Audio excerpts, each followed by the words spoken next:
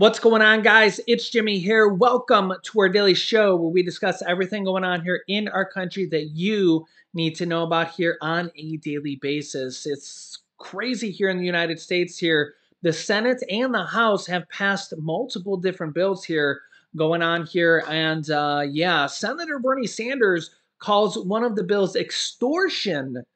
And he's not happy about it because one of the bills is going to cost a reported $76 billion.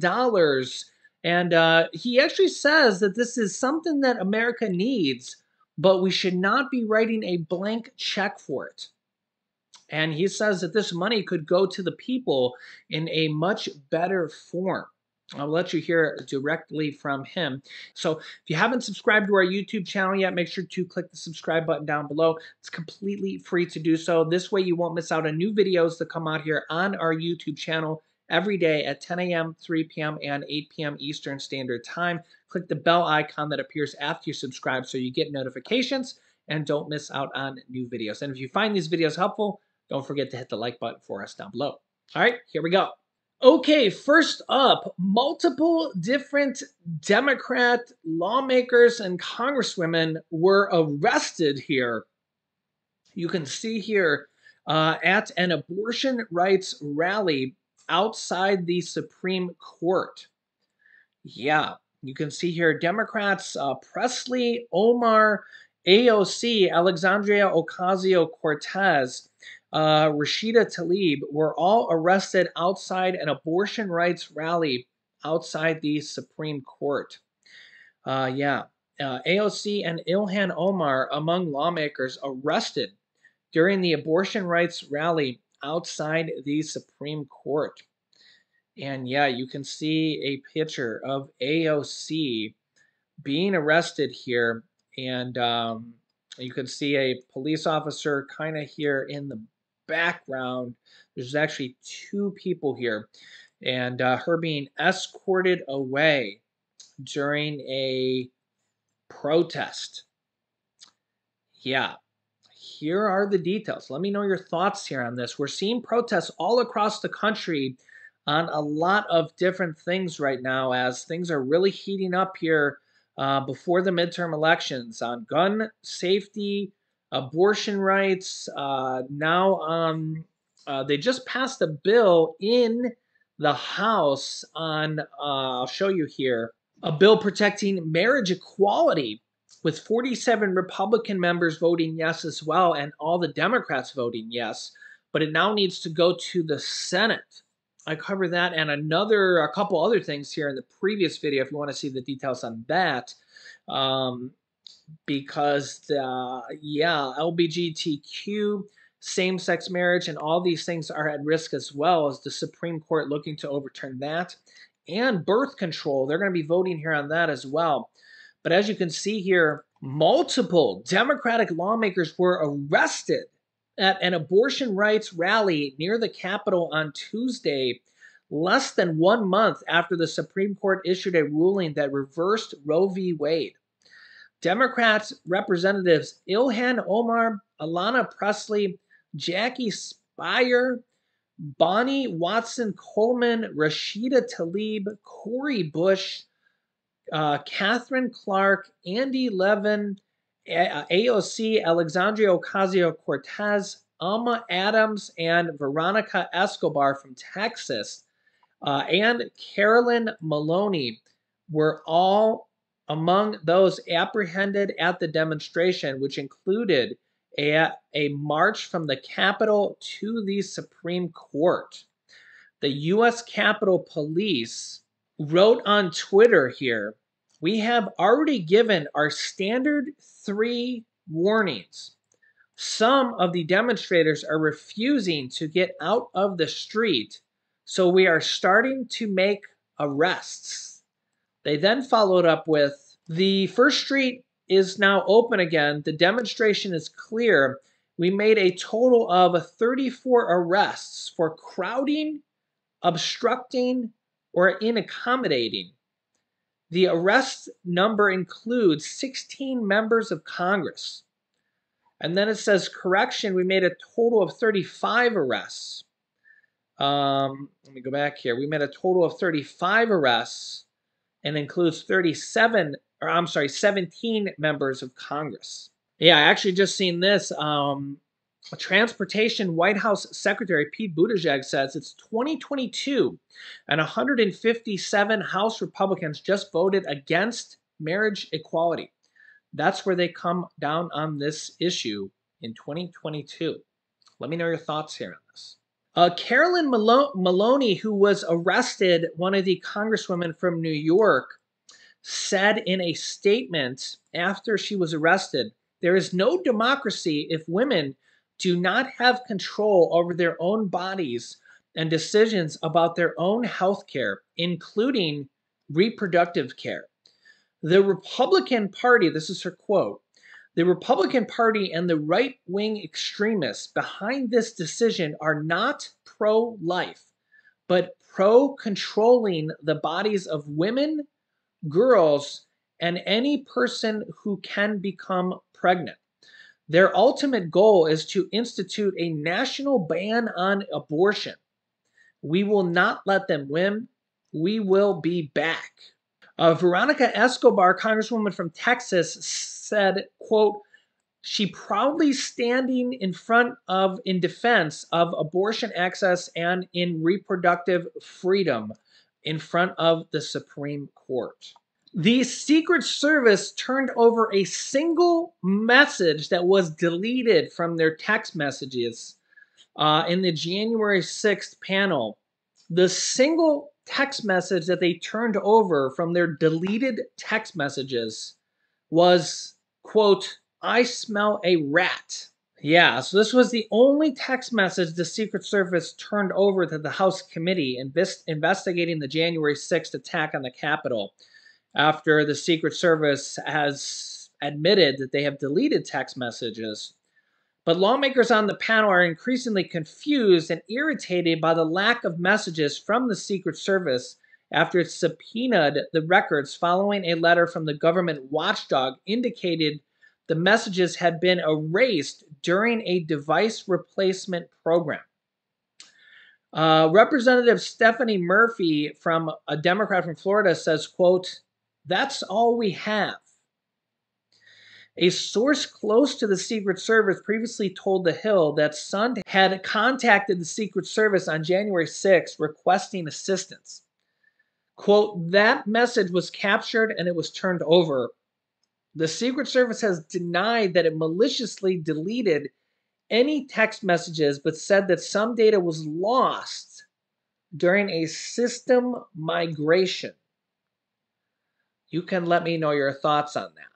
Agency spokesman Anthony Guglielmi said Secret Service policy prohibits using text messages due to security concerns, but that the initial 20 agents whose records were requested did not have phones impacted by the migration.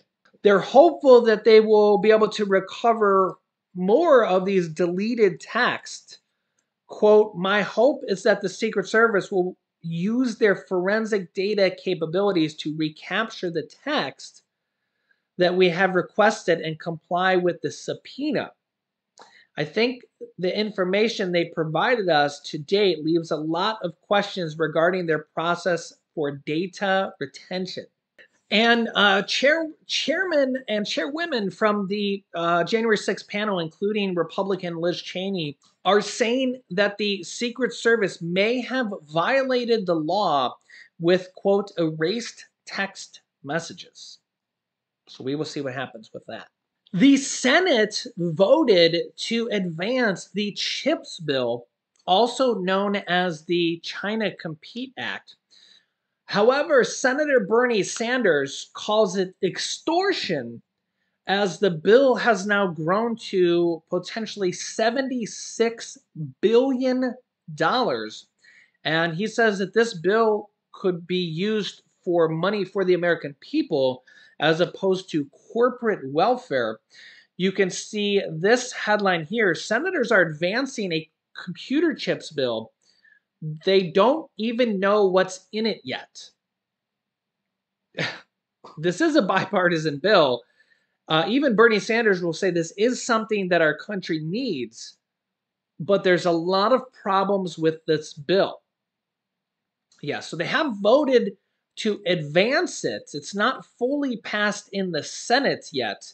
Uh, it needs to go to the final vote here. Here's what Senator Bernie Sanders has to say. Let me know your thoughts on this. Will be able to convince his Republican colleagues and Democratic colleagues as well that among many other reasons why we should vote against this major corporate welfare bill that's coming down the pike, which will add at least $76 billion to the deficit. So if we are concerned about the deficit, as Senator Lee is and many others are, I hope that will be one of the reasons we vote against this massive corporate welfare bill that we will be considering later this afternoon. You know, I hear a lot of concern about the deficit here in the Senate, and I hear people say we can't afford to feed hungry children, can't afford to deal with climate change, we can't afford to guarantee health care to all. Deficit is very, very large. Well, we're talking about 76 billion, at least that, maybe more, which will add to the deficit. So when you consider the deficit, you might want to also take into account tax breaks and corporate welfare for large profitable corporations. Mr. President, uh, I want to say a few words about this so-called CHIPS bill and what it says about our national priorities, what it says about our tax policies, and basically what it says as to whether or not the U.S. Congress is capable of representing the needs of working families or whether we are totally beholden to wealthy and powerful corporate interests and their campaign contributions. Last week, when I spoke about this issue, I expressed deep concern that Congress would provide $52 billion to a handful of profitable corporations in the microchip industry with no strings attached. Here it is, guys $52 billion. Well, I stand corrected. As a result of some new tax reduction language, the corporate welfare total for the microchip industry has gone up. It is now at $76 billion. and the corporate lobbyists working on this bill, like pigs at the trough, are not yet finished. They want more and more and more. Their needs are insatiable. Mr. President, needless to say, I do not usually quote approvingly from the editorial page of the Wall Street Journal. They are not my best friends, and in fact, I think I get attacked on that page more than any other member of the Congress. But as you know, a broken clock is right twice a day, and even the Wall Street Journal got this one right. Among the many reasons they urge Congress to vote against this bill is one that I think is very relevant, and let me quote. This is from the Wall Street Journal editorial page today. Quote, the chip bill isn't needed to compete with China, and it will set a precedent that other industries will follow. Anybody who can throw up a China competition angle will ask for money. Why Republicans want to sign up for this is a mystery, end of quote, Wall Street Journal. And the point they make is a good one we should be clear that over 90% of the cell phones used in this country, over 90% of the laptops used in this country are made in China. So you pass this bill, and tomorrow we'll hearing, I no doubt, from the cell phone industry, from the computer laptop industry, about how they need their welfare checks as well. So I think the Wall Street Journal, every once in a while, makes a good point. Today they did. Yeah. So let me know your thoughts here in the comments. I don't know, man. I, I just I just feel like he's he's right yet again. I, again, he's an independent. He's not a Democrat. He's not a Republican. He just kind of looks at situations, and uh, you know, he mentioned previously that uh, you know we do need computer chips to be made here in the United States. He says they are being made here in the United States. More and more companies are making them here in the United States, um, but they're extremely profitable. They're extremely profitable. They're making uh, really, really good profits and really good profit margins. So, do we need to just give them $76 billion of taxpayer money on top of the really good, profitable money that they're already making? Should we just give them a blank check of $76 billion? I mean, think about how much money that is $76 billion. That's a lot of money. That could be used for a lot of other things here. Um, I mean, when we look at the money that went out to states and cities, uh, states, cities, and counties from the last stimulus checks, uh, that was $350 billion. So that's almost like about a quarter, just meant uh, rough, quick mental math here of uh, the money that went out to states, cities, and counties uh, just for this one industry, just for the computer chip industry. That's almost a quarter, 25% of the entire amount of money that we sent out for the whole United States of stimulus money for all 50 states that they want to give to just this one computer chip industry. Think about how many different industries there are in the whole country. And remember, you hear all the time, all the time, oh, we got to worry about the deficit. Oh, we can't just print money. Oh, we can't just give out money here, this, that, and the other where, right? But then they they do in in forms of this type of stuff. So when you hear that, oh, we can't have enough, you know, when you hear, I mean, you hear this from certain type of people and certain groups of people, and that, oh, you know, a fourth stimulus check shouldn't go out because of inflation. I mean, I, you know, you hear this from certain different type of people, right? Well, there are giving money to corporations and huge groups of, I mean, corporate welfare is what Senator Bernie Sanders has said. By the way, that um, speech of his goes it goes on for like 20 minutes. Okay, I, I, am not gonna. You could look it up on YouTube if you want. Uh, it's on his YouTube channel actually, Senator Bernie Sanders. Um, if you want to look it up, but um, yeah. So the thing is, is that um, do we want to give corporate welfare to corporations that are already making millions and billions of dollars, or should we give it to the people? Who aren't making billions and millions of dollars, people that are literally struggling just to put food on the table. Food on the table. You know, think about things like the child tax credits that aren't even that haven't even been passed this year. Um, millions of children have gone back into poverty because they haven't been able to pass it this year. Uh, think about the Social Security raise that is a bill in Congress that uh, they want to pass this year. They're they need more votes to get it to pass. They're trying to shore up the votes to pass it. Uh, to raise Social Security by $2,400 more this year uh, per year, and to raise the um, limit or raise the floor of Social Security to uh, $1,415 per year will be the minimum benefits. Uh, think about things like that. Think about raising SNAP benefits, food benefits, uh, think about like just the $76 billion alone, what they could do with that. Just going to this one industry. Think about how many different type of things like this get passed all the time. Think about like the, the $40 billion that went to Ukraine. Now, don't get me wrong. I personally think that like we need to we needed to send some type of stuff to Ukraine. A lot of that actually went in the form of like like defense materials, right? Uh, weapon materials and stuff, right? So, you know, you, you really can't, in my opinion, let a, a dictator like, uh, I almost said Hitler.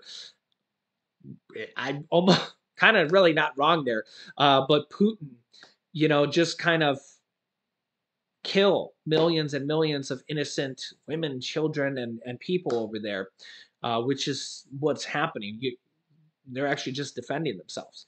So, um, but remember, the U.S. is not the only country doing that. Um, and yeah, we've sent forty billion dollars over there.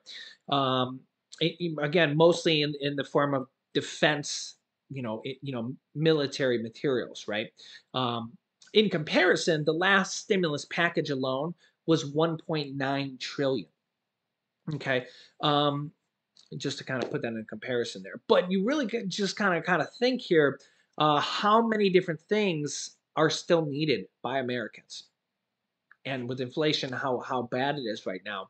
Um, I'll keep you up to date here with everything in our country. So make sure to click the subscribe button down below to our YouTube channel so you don't miss out on new videos coming out here every day at 10 a.m., 3 p.m., and 8 p.m. Eastern Standard Time.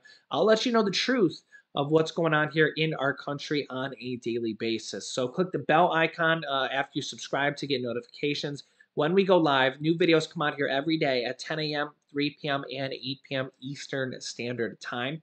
And in fact, you can click this video here to see new money that is going out to SNAP benefits, pandemic EBT benefits, and uh, for food assistance.